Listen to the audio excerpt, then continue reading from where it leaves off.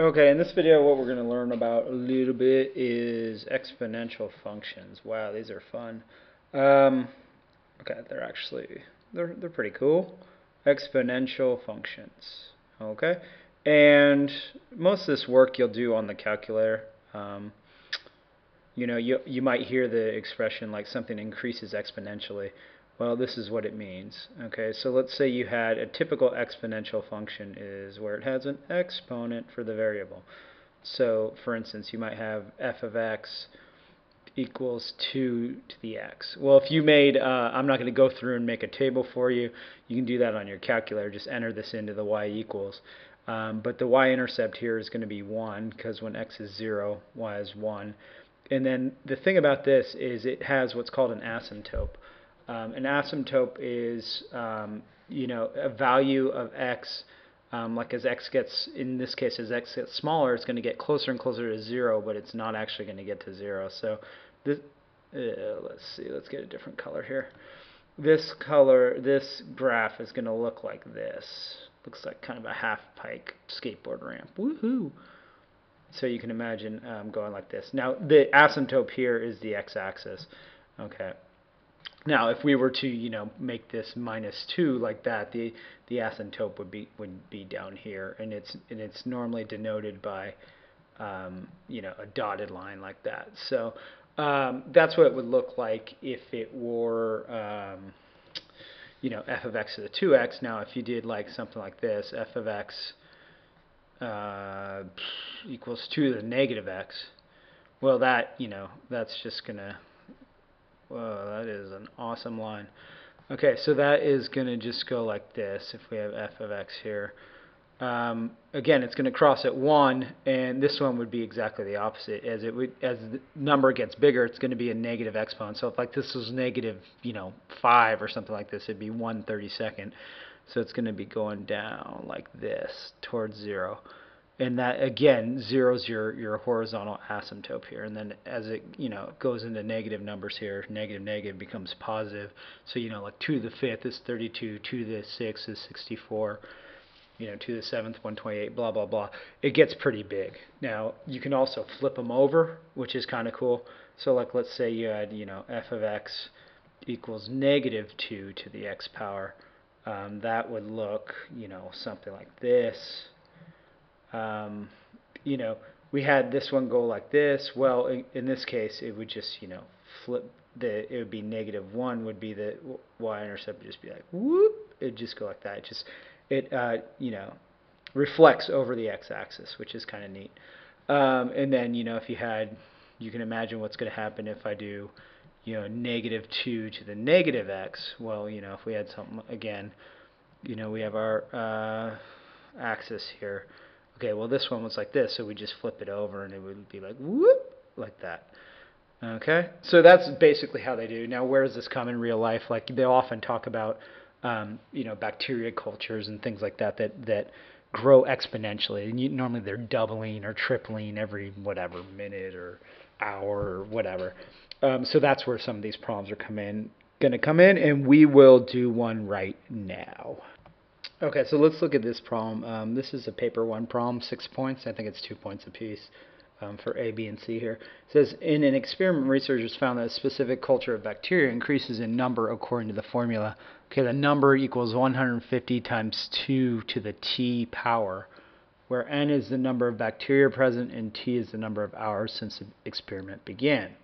Use this formula to calculate the number of bacteria present at the start of the experiment. Well, at the start of the experiment, that's when, you know, t is going to equal 0. So, you know, it's going to be 150 times, you know, 2 to the 0 power. Now, a lot of kids make a mistake. 2 to the 0 power is 1. So, you know, 150 times 1 is just 150. So there's 150 bacteria uh, at the beginning of the experiment. Okay? Now we can enter this into our calculator. How many are, are present after three hours? Okay, well that's that's pretty easy. We just do the number is 150 times uh, 2 to the third power. Okay, 2 to the third power is 8, so 8 times 150 would be, um, what is that? 8 times what? 800, 400, 1200 bacteria. Now you can just enter that in the calculator as well. Um, you know, I would do, if you're going to break this out, I would, you know, just go like, uh, let's see, 150 uh, times 2 to, and then raise it to the third power, and you get 1200. Okay, cool, we're good. Now, the numbers of hours it would take for the bacteria to reach 19,200. Okay, this is where it gets a little tricky. Now, you don't have to know how to use logarithms in math studies, but uh, let me just uh, let me show you two ways to do this.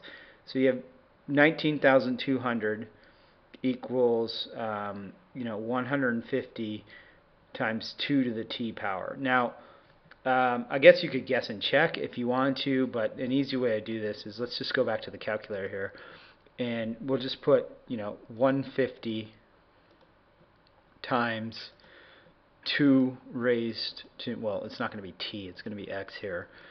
And, you know, let's just graph, uh, we don't need to graph it, it's, it's exponential. Um, but let's see, um, let's see what the table looks like. So the table's at 0, 150, 600, 3 hours, 1200. Ooh, so our, our answer was right on the first one, on part B, and on uh, part A. Good. So it's a way to check it. So let's just go down until we get 19,200. Oh, well, it's 7. So x, you know, x is, or not t, x, t is going to equal, whoops, t is going to equal 7 hours here. Now, um, another way to do this, with, let me just show you real quick.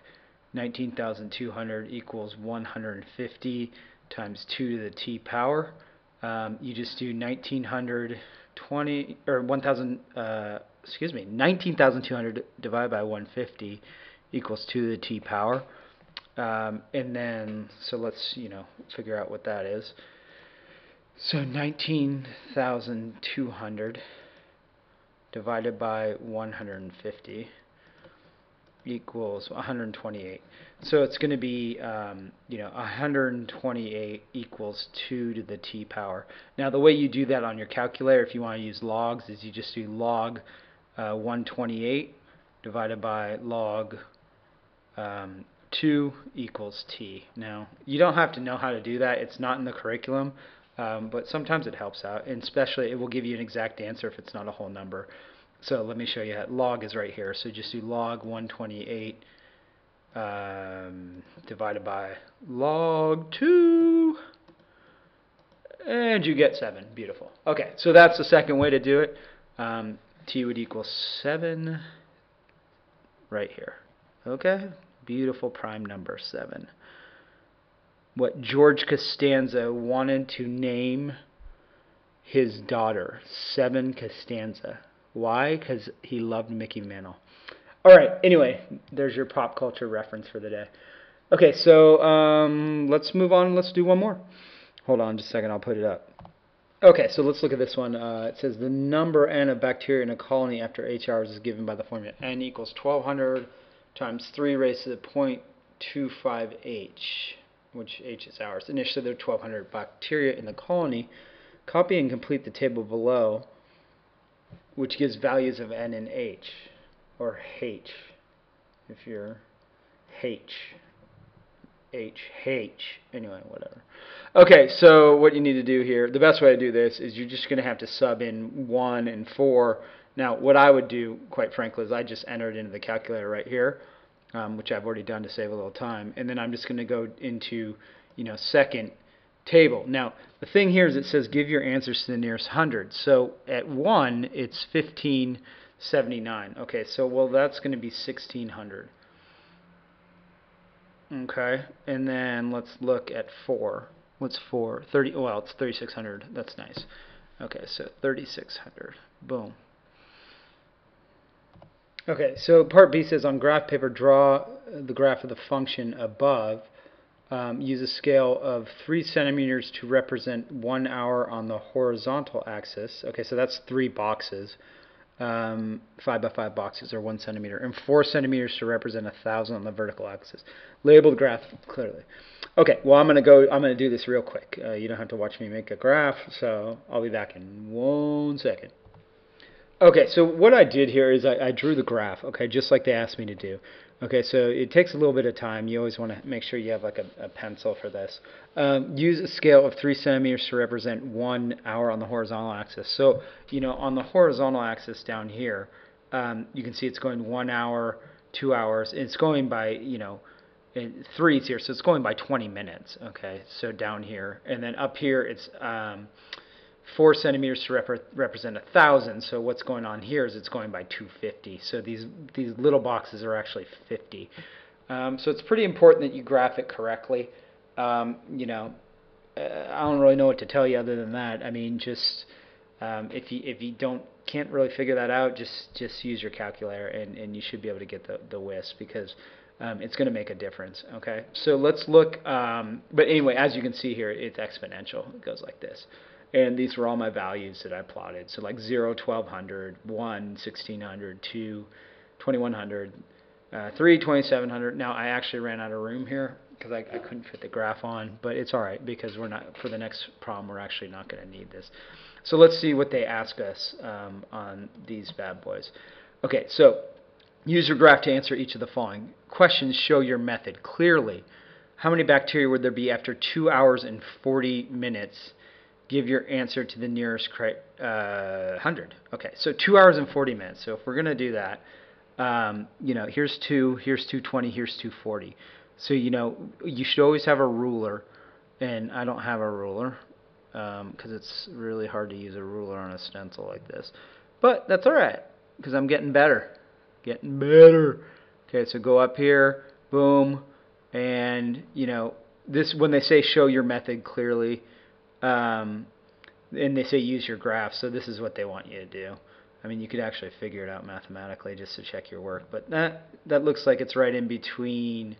Um, let's see if we were to look here, um, it's in between. You know, uh, 2,000, 3,000, it's 2,500. So that answer right there is going to be 2,500 um, bacteria. Mm, great, 2,500 bacteria. Awesome. After how long uh, will there be 3,000 bacteria? Give your answer in the nearest 10 minutes. Okay, no problem. Well, 3,000, again, we'll just go, you know, let's use a different color here. Um, 3,000, so this time they want you to start from here. Um, you know, this is these are like when you use like a cumulative frequency graph often. Um, you have to do stuff like this. You know, you have to show it out, what the percentiles and all that stuff. Okay, so now, okay, so it's three hours here and then it's one over, so that's, you know, three hours and 20 minutes. Okay, so we can do three hours and 20 minutes. And we are good to go. Okay, and so that was your H for that one, or H, however you say it. Okay, well, anyway, um, there you go. There's exponential functions. Um, hopefully that will help out a little bit. Um, if you got any questions, leave a comment. Um, if you want me to make something, leave a comment or whatever. Um, and that's cool, man. And I will leave you with one last thing that I have to show you because it's funny. Hold on.